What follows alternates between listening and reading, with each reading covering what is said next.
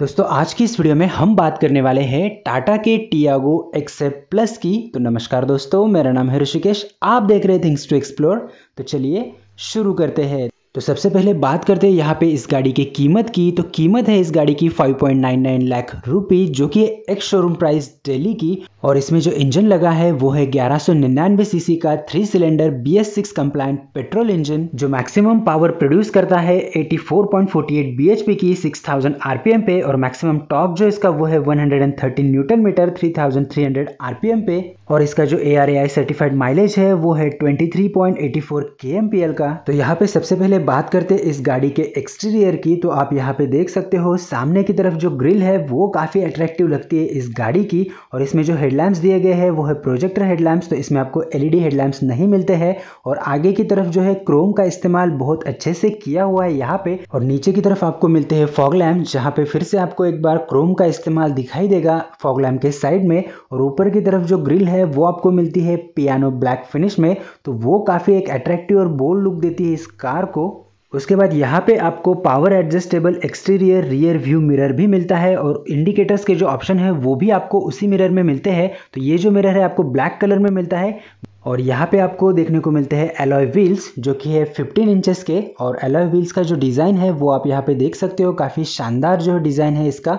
और बात करते हैं इसके ब्रेक्स की तो आगे की तरफ़ आपको मिलते हैं डिस्क ब्रेक्स और पीछे की तरफ़ आपको मिलते हैं ड्रम ब्रेक्स तो एक बार मैं आपको इसका रियर व्यू भी दिखा देता हूँ। तो आप यहाँ पे देख सकते हो, पीछे की तरफ़ जो टेल लाइट है, वो भी यहाँ पे काफ़ी अट्रैक्टिव दिखती है और ऊपर की तरफ़ आपको इसमें स्पॉयलर भी मिलता है ब्रेक लाइट के साथ में। और आपको मिलता है rear window wiper rear window washer के साथ में और आपको इसमें रियर विंडो डिफॉगर भी मिलता है। तो आप यहाँ पे देख सकते हो, बीच में है टाटा का लोगो उसके बाद है टियागो नाम और उसके बाद जो है आपका बूट स्पेस ओपन करने के लिए की इंसर्ट करने का ऑप्शन और ठीक उसके नीचे आपको दिखाई देगा आपका रिवर्स पार्किंग कैमरा दो पार्किंग सेंसर्स के साथ में। तो चलिए मैं आपको एक बार इसका बूट स्पेस दिखा देता हूँ। तो इसका जो बूट स्पेस है, वो मिलता है आपको 242 लीटर्स का विद अ पार्सल ट्रे तो आप ऊपर की तरफ़ पार्सल ट्रे देख सकते हो। और यहाँ पे जो है बूट स्पेस कुछ इस तरीके से है। और नीचे की तरफ़ जो है, आपको यहाँ पे मिलता है एक 15 इंचेस का स्पेयर व्हील जो कि आता है इसी ब्लैक कलर के रिम के साथ में। तो ये जो स्पेयर व्हील है, वो आपको एलॉयज में नहीं मिलता है।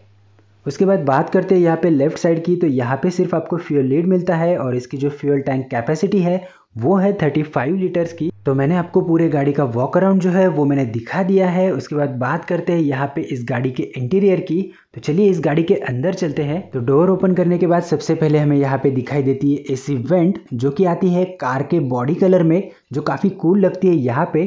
तो सबसे पहले मैं आपको यहाँ पे डैशबोर्ड दिखा देता हूँ। तो आप यहाँ पे देख सकते हो डैशबोर्ड जो है वो यहाँ पे काफ़ी कूल दिया गया है। तो यहाँ पे आपको मिलता है डिजिटल स्पीडोमीटर, उसके बाद आपको मिलता है टैकोमीटर और आपको मिलता है इलेक्ट्रॉनिक मल्टी ट्रिप मीटर और उसके बाद यहाँ पे जो है आपको डिजिटल ओडोमीटर भी मिल जाता है। इसमें आपको गियर शिफ्ट इंडिकेटर भी मिलता है और उसके बाद आपका ट्रिप मीटर जो है वो भी आप यहाँ से सेट कर सकते हो। उसके साथ आपको फ्यूल वार्निंग जो है वो भी आपको यहाँ पे मिल जाती है और आपको सीट बेल्ट वार्निंग आपके जो टर्निंग इंडिकेटर्स के जो ऑप्शन होते हैं, वो भी आपको यहीं पे देखने को मिल जाते हैं। और इसका जो डिजिटल ओडोमीटर है, वो जब गाड़ी चल रही होती है तो काफ़ी कूल दिखाई देता है। फ़िलहाल जो है गाड़ी रुकी हुई है तो मैं आपको ओडोमीटर के सारे लाइट्स जो है, वो दिखा नहीं पाऊँगा। तो यहाँ पर आप देख सकते हो, इसके जो स्टेयरिंग व्हील्स के कंट्रोल्स है, वो मैं आपको दिखा देता हूँ। तो दूसरी साइड में जो है, यहाँ पर कुछ भी नहीं है, सिर्फ़ हॉर्न का ऑप्शन है। और लेफ़्ट साइड में जो है, यहाँ पर आपको मिलते हैं स्टीरियो के कंट्रोल जहाँ पे आप देख सकते हो, सबसे पहले दिया गया है चैनल सेलेक्टर उसके बाद जो है आपके ऊपर नीचे जो बटन है, वो है आपके वॉल्यूम रॉकर्स और बीच में जो बटन दिया गया है, वो है ब्लूटूथ के ऑप्शन के लिए और ऊपर और नीचे यहाँ पे जो दो बटन दिए गए हैं वॉल्यूम म्यूट करने के लिए और आपके वॉइस कंट्रोल के लिए और उसके बाद स्टेयरिंग के राइट साइड में यहाँ पे आपको फ्रंट जो लाइट्स है, उसके कंट्रोल्स आपको देखने को मिलेंगे, उसके बाद जो बीम एडजस्टर है, वो भी आपको इसमें यहीं पर मिलता है और उसके बाद यहाँ पे जो है आपको इंडिकेटर्स के ऑप्शन भी यहीं पे मिल जाते हैं और यहाँ पे जो है, आप ए सी वेंट देख सकते हो, ये भी यहाँ से काफ़ी कूल लगती है। और उसके बाद यहाँ पे आप देख सकते हो थ्री स्पोक स्टेयरिंग व्हील जो काफ़ी स्पोर्टी लुक देती है। और उसके बाद लेफ़्ट साइड में यहाँ पे आपको जो आपके वाइपर्स के कंट्रोल है, वो मिलते हैं। उसके बाद यहाँ पे आप देख सकते हो एसी वेंट का जो डिज़ाइन है, वो कुछ इस तरीके से दिया गया है, जो काफ़ी कूल लगता है, जिसके बीचों बीच आपको हज़ार लाइट्स का जो ऑप्शन है, वो आपको मिलता है। उसके बाद यहाँ पे आपको मिलता है सेवन इंचेस का इन्फोटेनमेंट सिस्टम जहाँ पे आपको ऑप्शंस मिलते हैं एंड्रॉयड ऑटो का एप्पल कारप्ले का radio USB phone setup contacts और उसके बाद आपको मिलता है audio setup Bluetooth phone park assist और आईपॉड भी आप इसको कनेक्ट कर सकते हैं। तो चलिए हम वापस चलते हैं होम में। और उसके बाद जो है इसकी फिनिशिंग जो है पियानो फिनिश के साथ में आता है। तो यहाँ पे आपको ऑप्शन मिलते हैं आपके फॉग लाइट के और अगर आपको डोर लॉक अनलॉक करना है तो उसके भी ऑप्शन यहाँ पे मिलते हैं। क्रोम का जो है इसमें भी इस्तेमाल बहुत सारा किया गया है। उसके बाद यहाँ पे आपको मिलते हैं एसी के कंट्रोल्स उसके बाद यहाँ पे जो नीचे बटन दिए गए हैं वो है सामने वाले एसी के कंट्रोल्स के। उसके बाद पीछे जो डिफॉगर है उसका कंट्रोल्स उसके बाद एयर सर्कुलेशन आपको किस तरह से चाहिए उसके ऑप्शंस और सबसे लास्ट में यहाँ पे आपको मिलता है एयर मोड सिलेक्टर का बटन और उसके बाद जो बटन दिया गया है, वो है यहाँ पे आपके ऑटोमेटिक एसी का और अगर आप एसी को ऑफ़ करना चाहते हैं तो और आप हीटर को भी यही से कंट्रोल कर सकते हो। उसके बाद नीचे की तरफ़ आपको मिलता है एक यूएसबी पोर्ट जहाँ पे आप अपना पेनड्राइव वगैरह लगा सकते हो। उसके बाद यहाँ पे आपको मिलता है एक ऑक्स इनपुट और उसके बाद यहाँ पे मिलता है आपको एक 12 वोल्ट का चार्जिंग सॉकेट जहाँ से आप अपना फ़ोन वगैरह चार्ज कर सकते हो। उसके बाद यहाँ पे है five speed manual gear box reverse के साथ में तो आप यहाँ पे देख सकते हो जो इसका फिट एंड फिनिश है, वो यहाँ पे काफ़ी अच्छा दिखता है इसी ब्लैक कलर में। तो इस गाड़ी में जो है आपको रिवर्स पार्किंग कैमरा भी मिल जाता है तो उसकी भी क्लियरिटी जो है वो डिस्प्ले के ऊपर मैं आपको दिखा देता हूँ।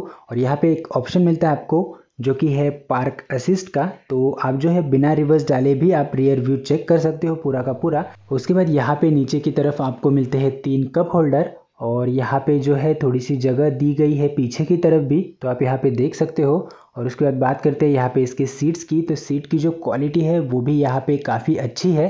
अंडर थाई सपोर्ट भी इसमें जो है काफ़ी अच्छा मिलता है आपको। उसके बाद बात करते हैं यहाँ पे driver side door sun visor की तो यहाँ पे आपको एक टिकट होल्डर मिलता है और दूसरी तरफ़ जो है को ड्राइवर के साइड में आपको एक वैनिटी मिरर मिल जाता है। और उसके बाद यहाँ पे आपको मिलता है डे नाइट मिरर और बीच में जो है आपको एक रीडिंग लैम्प भी मिल जाता है, जिसकी क्वालिटी जो है वो काफ़ी अच्छी है। उसके बाद बात करते हैं यहाँ पे डोर हैंडल की। तो डोर हैंडल जो है उसमें भी पियानो ब्लैक फिनिश का इस्तेमाल किया गया है और जो डोर ओपन करने के लिए लीवर है, उसमें भी क्रोम का इस्तेमाल किया गया है। उसके बाद यहाँ पे आप देख सकते हो फ्रंट टू पावर विंडोज़ के ऑप्शन जहाँ पे ड्राइवर साइड पावर विंडो जो है वो ऑटो डाउन ऑप्शन के साथ आती है। ये ऑटो अप ऑप्शन के साथ नहीं आती है। उसके बाद उसके पीछे आप देख सकते हो यहाँ पे पीछे के पावर विंडोज़ के ऑप्शन और यहाँ पे जो है आपके विंडोज़ लॉक के ऑप्शन भी अवेलेबल है। उसके बाद बात करते हैं यहाँ पे स्टीयरिंग की। तो स्टीयरिंग जो है आपको यहाँ पे पावर स्टीयरिंग मिलती है और ये जो है हाइट एडजस्टेबल है। तो यहाँ पे आप देख सकते हो इसका जो ऑप्शन है वो यहाँ पे नीचे की तरफ़ दिया गया है। तो मैं लाइट को ऑन करके आपको दिखा देता हूँ। तो यहाँ पे जो है आपके स्टीयरिंग एडजस्टमेंट का ऑप्शन जो है वो आपको मिल जाता है। उसके बाद यहाँ पे डोर के ऊपर जो है इसके मिरर के ऑप्शन दिए गए हैं। तो आप यहाँ से जो है आप इस मिरर को इलेक्ट्रिकली एडजस्ट कर सकते हो। तो आप यहाँ पे देख सकते हो मैंने इलेक्ट्रिकली जो है इसको एडजस्ट करके दिखा दिया है।